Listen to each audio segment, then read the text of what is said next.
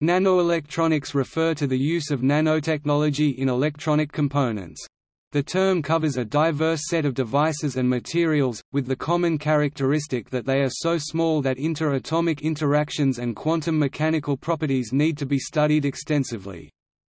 Some of these candidates include, hybrid molecular, semiconductor electronics, one-dimensional nanotubes, nanowires e.g. silicon nanowires or carbon nanotubes or advanced molecular electronics.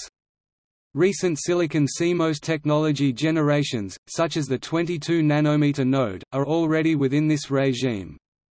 Nanoelectronics are sometimes considered as disruptive technology because present candidates are significantly different from traditional transistors.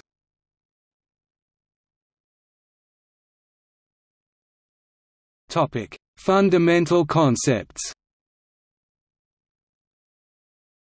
In 1965 Gordon Moore observed that silicon transistors were undergoing a continual process of scaling downward, an observation which was later codified as Moore's law.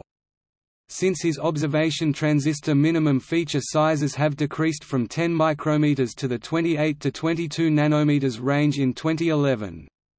The field of nanoelectronics aims to enable the continued realization of this law by using new methods and materials to build electronic devices with feature sizes on the nanoscale.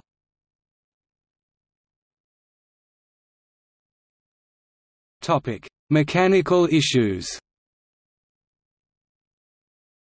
The volume of an object decreases as the third power of its linear dimensions, but the surface area only decreases as its second power. This somewhat subtle and unavoidable principle has huge ramifications. For example, the power of a drill or any other machine is proportional to the volume, while the friction of the drill's bearings and gears is proportional to their surface area. For a normal-sized drill, the power of the device is enough to handily overcome any friction. However, scaling its length down by a factor of 1000, for example, decreases its power by 10,003 a factor of a billion while reducing the friction by only 10,002 a factor of only a million. Proportionally it has 1000 times less power per unit friction than the original drill. If the original friction-to-power ratio was, say, 1%, that implies the smaller drill will have 10 times as much friction as power, the drill is useless. For this reason, while super-miniature electronic integrated circuits are fully functional, the same technology cannot be used to make working mechanical devices beyond the scales where frictional forces start to exceed the available power. So even though you may see microphotographs of delicately etched silicon gears, such devices are currently little more than curiosities with limited real-world applications, for example, in moving mirrors and shutters. Surface tension increases in much the same way, thus magnifying the tendency for very small objects to stick together.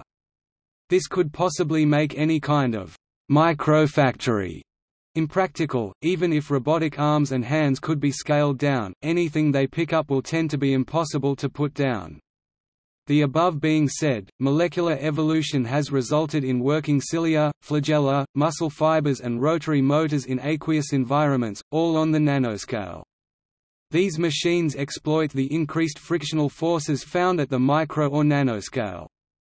Unlike a paddle or a propeller which depends on normal frictional forces the frictional forces perpendicular to the surface to achieve propulsion, cilia develop motion from the exaggerated drag or laminar forces frictional forces parallel to the surface present at micro and nano dimensions.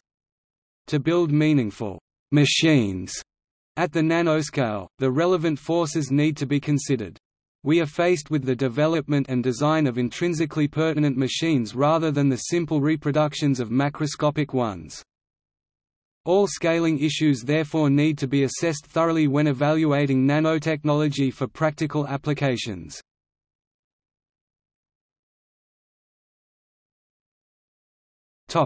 Approaches to nanoelectronics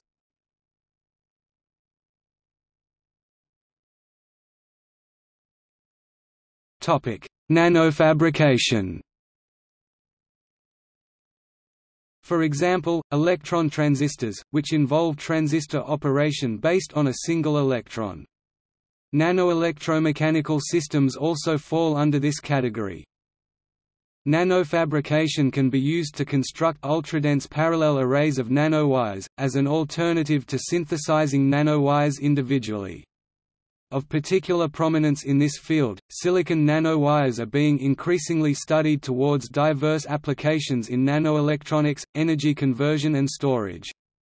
Such sinis can be fabricated by thermal oxidation in large quantities to yield nanowires with controllable thickness.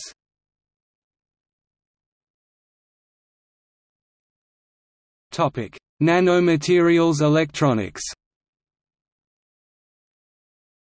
Besides being small and allowing more transistors to be packed into a single chip, the uniform and symmetrical structure of nanowires and or nanotubes allows a higher electron mobility faster electron movement in the material, a higher dielectric constant faster frequency, and a symmetrical electron-hole characteristic. Also, nanoparticles can be used as quantum dots.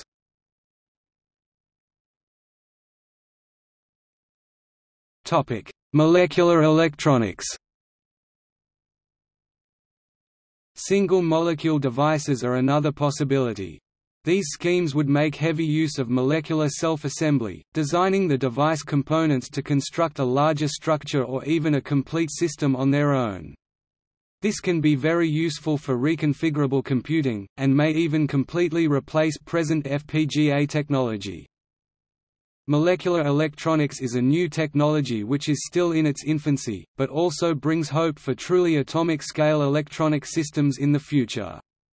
One of the more promising applications of molecular electronics was proposed by the IBM researcher Ari Aviram and the theoretical chemist Mark Ratner in their 1974 and 1988 papers Molecules for Memory, Logic and Amplification, see Unimolecular rectifier. This is one of many possible ways in which a molecular level diode, transistor might be synthesized by organic chemistry.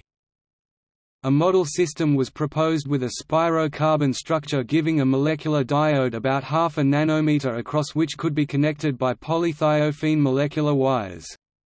Theoretical calculations showed the design to be sound in principle and there is still hope that such a system can be made to work.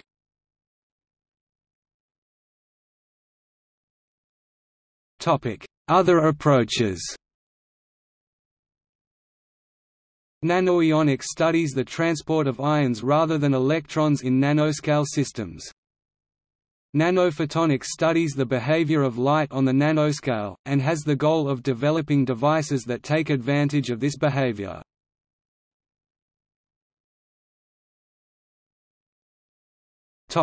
Nanoelectronic devices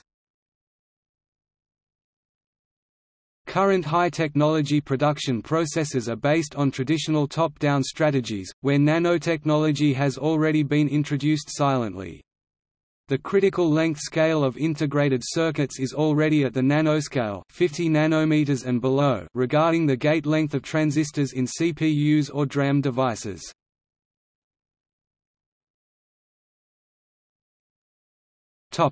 Computers Nanoelectronics holds the promise of making computer processors more powerful than are possible with conventional semiconductor fabrication techniques. A number of approaches are currently being researched, including new forms of nanolithography, as well as the use of nanomaterials such as nanowires or small molecules in place of traditional CMOS components. Field effect transistors have been made using both semiconducting carbon nanotubes and with heterostructured semiconductor nanowires .In 1999, the CMOS transistor developed at the Laboratory for Electronics and Information Technology in Grenoble, France, tested the limits of the principles of the MOSFET transistor with a diameter of 18 nanometers approximately 70 atoms placed side by side. This was almost one-tenth the size of the smallest industrial transistor in 2003 130 nanometers in 2003, 90 nanometers in 2004, 65 nanometers in 2005 and 45 nanometers in 2007. It enabled the theoretical integration of 7 billion junctions on a 1 euro coin. However, the CMOS transistor, which was created in 1999, was not a simple research experiment to study how CMOS technology functions, but rather a demonstration of how this technology functions now that we ourselves are getting ever closer to working on a molecular scale. Today it would be impossible to master the coordinated assembly of a large number of these transistors on a circuit and it would also be impossible to create this on an industrial level.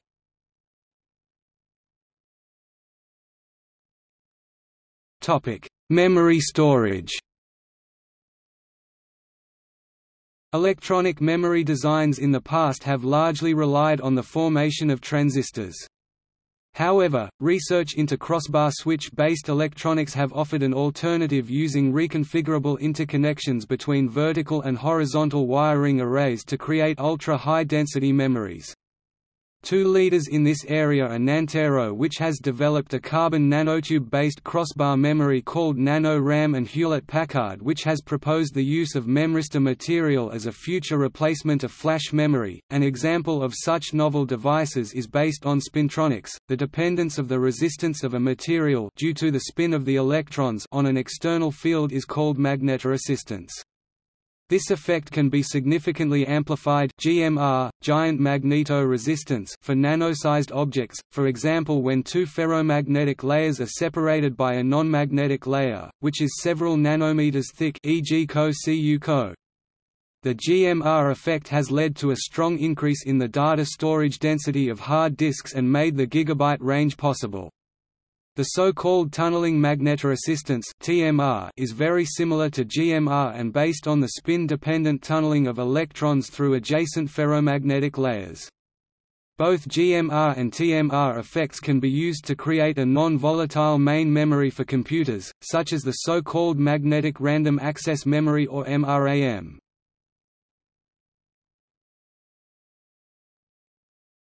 Topic: Novel optoelectronic devices. In the modern communication technology traditional analog electrical devices are increasingly replaced by optical or optoelectronic devices due to their enormous bandwidth and capacity, respectively. Two promising examples are Photonic crystals and quantum dots. Photonic crystals are materials with a periodic variation in the refractive index with a lattice constant that is half the wavelength of the light used. They offer a selectable band gap for the propagation of a certain wavelength, thus they resemble a semiconductor, but for light or photons instead of electrons. Quantum dots are nanoscaled objects, which can be used, among many other things, for the construction of lasers. The advantage of a quantum dot laser over the traditional semiconductor laser is that their emitted wavelength depends on the diameter of the dot. Quantum dot lasers are cheaper and offer a higher beam quality than conventional laser diodes.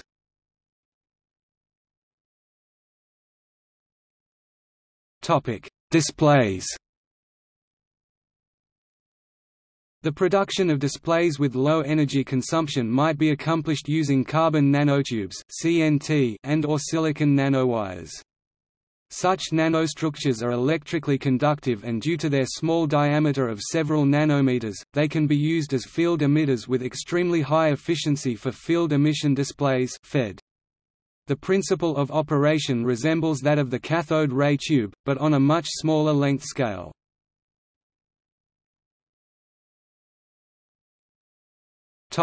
Quantum computers Entirely new approaches for computing exploit the laws of quantum mechanics for novel quantum computers, which enable the use of fast quantum algorithms. The quantum computer has quantum bit memory space termed qubit for several computations at the same time.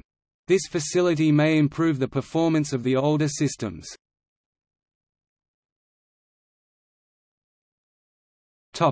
Radios Nanoradios have been developed structured around carbon nanotubes.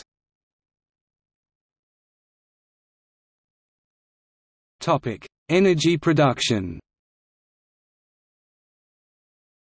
Research is ongoing to use nanowires and other nanostructured materials with the hope to create cheaper and more efficient solar cells than are possible with conventional planar silicon solar cells. It is believed that the invention of more efficient solar energy would have a great effect on satisfying global energy needs. There is also research into energy production for devices that would operate in vivo, called bio-nano generators. A bio-nano generator is a nanoscale electrochemical device, like a fuel cell or galvanic cell, but drawing power from blood glucose in a living body, much the same as how the body generates energy from food.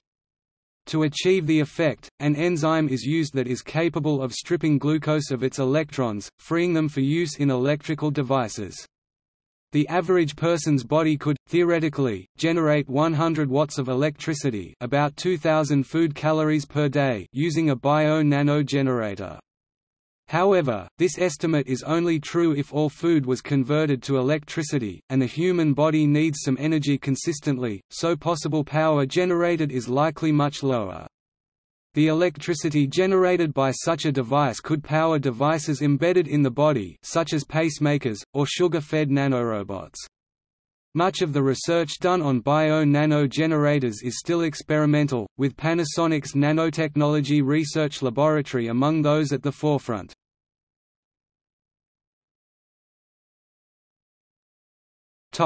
Medical diagnostics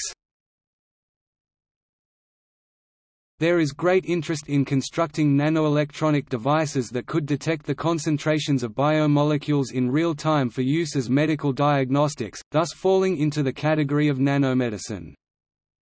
A parallel line of research seeks to create nanoelectronic devices which could interact with single cells for use in basic biological research. These devices are called nanosensors. Such miniaturization on nanoelectronics towards in vivo proteomic sensing should enable new approaches for health monitoring, surveillance, and defense technology.